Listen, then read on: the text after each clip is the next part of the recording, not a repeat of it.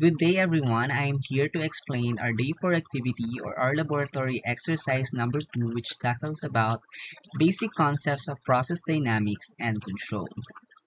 Let's begin with our different controls, specifically the feedback control loop. So the tra traditional way to control a process is to measure the variable that is to be controlled, compare its value with the desired value, and feed the difference into a feedback controller that will change a manipulated variable to drive the control variable back to the desired value. So in feedback control loop, we have our disturbance entering the process. So the in the process, um, it will create an output in which a measuring device will measure to see if there is a disturbance. If such disturbance is measured by the measurement, devi measurement device, it will be transmitted into the feedback controller, wherein the feedback controller will compare this in our desired value or our set point, and if, if an error is um, found, the control valve will um, input the manipulated variable for us to have the control variable. So the control variable is in compliance with the desired value to maintain optimum operating conditions. The next thing is our feed forward control. So here, the disturbance is de detected as it enters the process and an appropriate change is made in the manipulated variable such that the controlled variable is held constant. Thus, we begin to take corrective action as soon as a disturbance entering the system is detected, instead of waiting for the disturbance to propagate all the way through the process before a correction is made. So unlike the first control loop, here, the disturbance is um, directly detected as soon as it enters the process so that we can have our manipulated variable to correct the error made by the disturbance in the process so that our output would just be the optimum operating conditions or our desired value. So here it is a one-way process. It does not go back to the feed forward controller because the the disturbance is measured or detected as soon as it enters the process. Hence, the manipulated vari variable or the corrective actions is already made for us to proceed with the process and make our output in compliance with our set standards.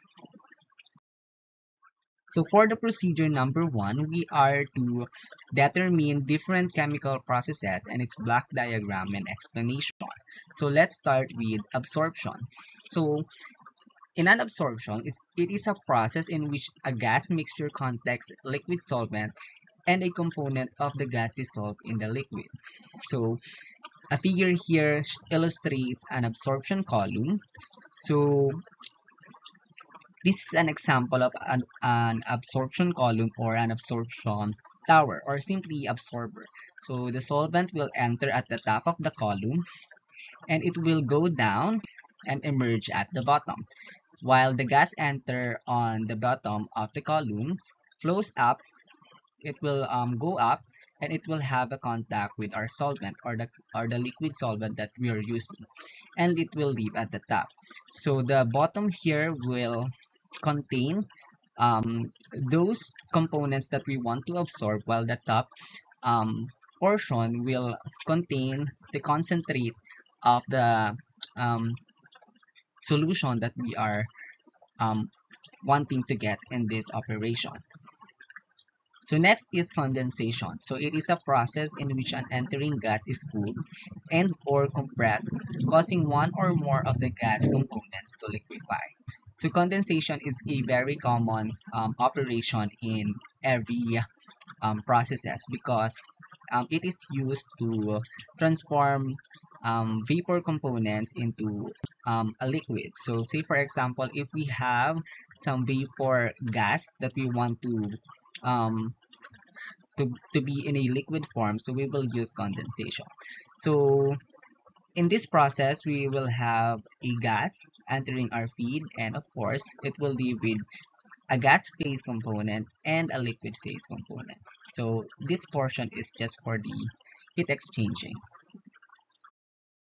Next is crystallization. So it is a process which in which a liquid solution is cooled or solvent is evaporated to an extent that solid crystals of solute form. So here, um, a liquid solution um, will be cooled. So the feed liquor here will contain a liquid solution in, in which a crystallizer will cool it down to the point that, that uh, crystals are made. So here, um, it will, um, the output is comprised of water and a slurry.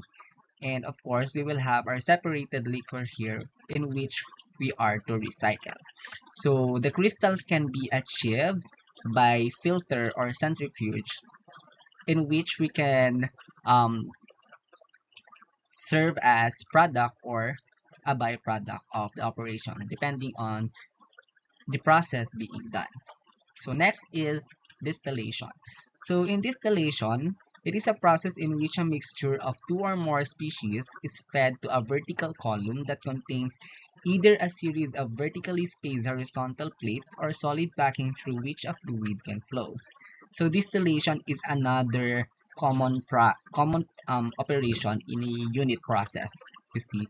So in distillation, we are just um, separating components. So say for example, if there is a mixture in the feed, so we are to perform distillation if we can separate those components by their boiling points. So if one has a higher boiling point and the other one has not, so the first one that will boil or the first one that will be transformed into gas phase will become our distillate and the one or the heavy components uh, will remain at the bottom. So the next is drying. So it is a process of uh, in which a wet solid is heated or contacted with a hot gas stream, causing some or all of the liquid wetting the solid to evaporate. So in drying, um, um, wet solids are the feed. You see, so it will undergo a drying unit in which um, all the uh, liquid components will be dried or will be separated. So it will go with the humid air, giving us with the dry product. So next is evaporation. So evaporation is also referred to as vaporization. It is a process in which a pure liquid or liquid mixture or solvent in a solution is vaporized. So in evaporation, um, we are to create a concentrated solution using by um, evaporating um, those components that are easily evaporated by the operation. So as you can see, we have here our feed. So by having the steam, we are evaporating um, those components that are easily evaporated. So that is the vapor. Then we will have our concentrated product. So next is extraction or it is also referred to as liquid extraction. So it is a process in which a liquid mixture of two species is contacted in a mixer with a third liquid that is immiscible or nearly immiscible with the feed carrier. So extraction is a liquid extraction. So say for example, we have our feed. So our feed is composed of A and B. So our extractant or our solvent that we will be using, say for example, we have letter C. So by passing the field, which is composed of A and B, and um, um let and letting it contact with the, our solvent, which is denoted as C, so we can extract the B, which is miscible to letter C. Um, given that this um, solvent is immiscible with that of the solution. So the letter B will be um, going with our solvent, hence it will provide our extract, the C and B. And our raffinate will be mainly composed of the A. So our A here is our desired product and some traces of letter B. So the next operation is, of course, filtration. So it is a process in which a slurry of solid particles suspended in a liquid passes through a porous medium. So in filtration, we are just to separate some solid liquid um, solution. So say for example, if we have, it is very common, especially in cooking, when we are um, using colanders and sieves and such. So here, of course, our solid components will remain as the filter cake while the liquid components will be passed through. So it depends on the operation or the operator, which is to be considered the product of the operation. So next is flash vaporization. So this is the process in which a liquid feed at high pressure is suddenly exposed to a lower pressure, causing some vaporization to occur. The vapor product is rich in the more volatile components of the feed and the residual liquid is rich in the less volatile components. So um, here, uh, as stated, so flash, flash vaporization is when a, a feed of high pressure is suddenly exposed to low pressure because we all know that at, at high pressure um there are various um solutions that appears to be in liquid phase. So when exposed to a sudden um high pressure drop some tends to become gas so in that case the gas will be the one exiting here and the liquid will be the one exiting at the bottom. So our gas here, of course, will become is the volatile components or the vapor part of the flash vaporization while the liquid part is composed of the less volatile components. The next is heat exchanging. So this is also a very common process in a unit operation. So in heat exchanging, a process unit flow through flow through which two fluid streams at different temperature flow on opposite sides of a metal barrier. Heat is transferred from the stream at a higher temperature through the barrier to the other stream. So here, um, in heat exchanging, we are just using some heating agent for us to heat another stream. So say for example here, we have cooling. So our process fluid will be entering our our equipment and here it will be passed with the cooling medium. So here the cooling medium will get the heat from the process fluid. Hence it will create an output that is the fluid same fluid but with lower temperature on the other hand our cooling medium from low temperature it will have a high temperature since it gained the temperature from the process fluid so um, the next is stripping. So it is a process in which a liquid containing a dissolved gas flows down a column and gas flows up the column at conditions such that the dissolved gas comes out of solution and is carried off with the stripping gas. So here, stripping as illustrated, so it is just um, um, it is just separating some gas dissolved in a liquid. So, say for example, if we have a feed with dissolved gas, so we are using uh, stripping gas to strip that gas, strip the dissolved gas from the liquid or separate that dissolved gas from the liquid for us to have a very concentrated liquid instead of those with dissolved gas. So that is the sole purpose of stripping. That's the last for procedure 1 and now let's proceed to procedure 2 wherein we are to determine the different instrument instrumentation requirements and of course explain each of one so this is the figure and here we are to determine each instrumentation and explain each so from the figure, we have four determined instrumentation requirements. So first is our controller and control valve.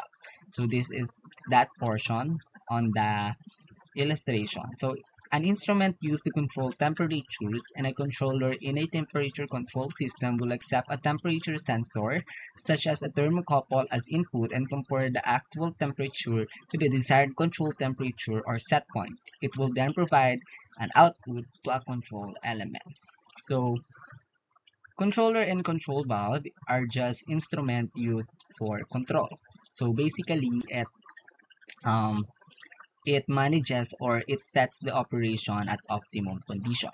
So next is our sensor or an instrument or device that provides for temperature me measurement through an electric signal. So the sensor sense a disturbance in a process. So it serves as a guard or or a managing um, quality assurance say, for example like that. So it's it guards the operation to see if such disturbance is happening. So the measurement is done through an electro electrical signal. So this electrical signal will be transmitted by transmitter. So presented here. So the transmitter is an instrument that interfaces a temperature sensor to a measure, measurement or control device. So those disturbance sensed by the sensor will be transmitted by the transmitter to the control so that we can have necessary corrective actions to return the operation to its optimum condition. So it is just um, it is interconnected to one another. So the sensor will sense the disturbance, the transmitter will transmit that signal to the controller, and the controller will take the corrective action. And of course, here we have the trap. So a trap is an instrument or a device that only liquid to pass through, thus preventing blow through of the steam vapor. So a trap is just a it seems like a maintenance um, equipment. So this is just used to prevent the blow through of steam vapor so that we can lessen um, the accidents that might happen during the operation. Good day everyone, this is Jamela from group number 4. I am here to discuss about the different process variables and its instrumentation. In terms of instrumentation, controllers, sensors, and transmitters have pressure, temperature, flow rate, and volume as their process variable. On the other hand, we have pressure on condensers and flow rate on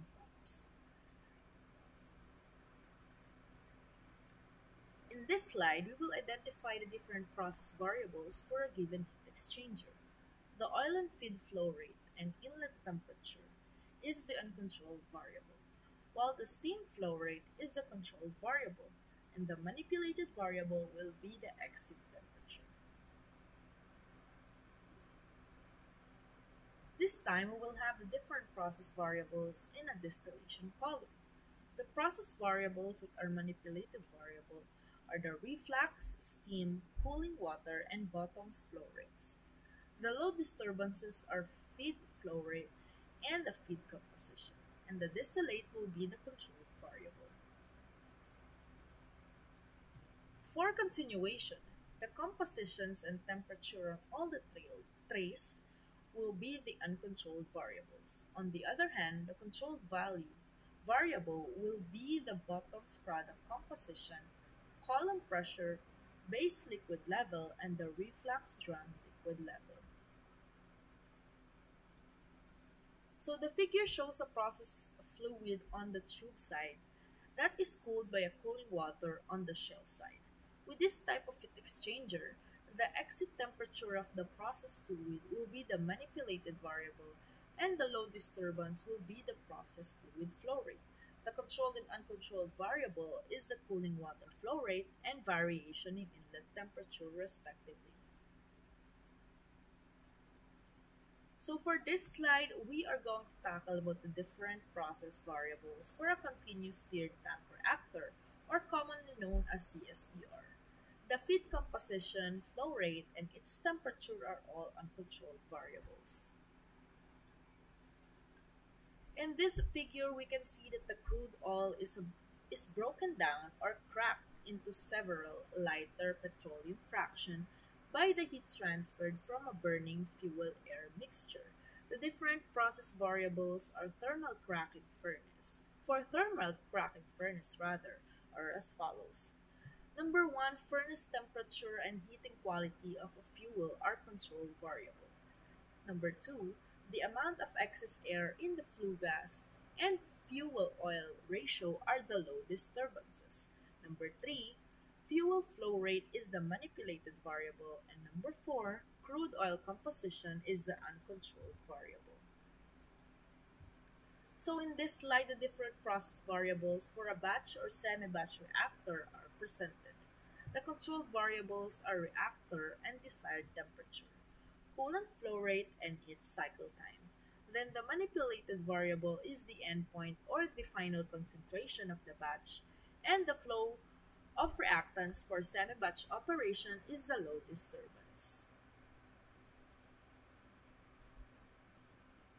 So in this figure, we can see the schematic diagram of a batch digester in a. Both continuous and semi-batch di digesters are used in a paper manufacturing to break down wood chips in order to extract the cellulosic fibers. The endpoint of the chemical reaction is indicated by a kappa number, which is a measure of lignin content. The process variables for a batch digester in a pulp mill is as follows. Number one, the controlled variables are its cycle time, digester pressure, and the digester temperature. And number two, the endpoint or the final concentration of the batch will be the manipulated variable. So in conclusion, it is important to understand the basic components of the process dynamics and control.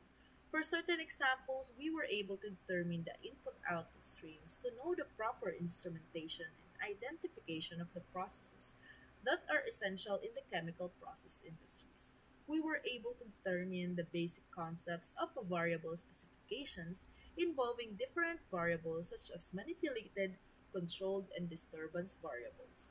All of these are the basic concepts of the process and dynamics that need to be taken into consideration in designing a plant.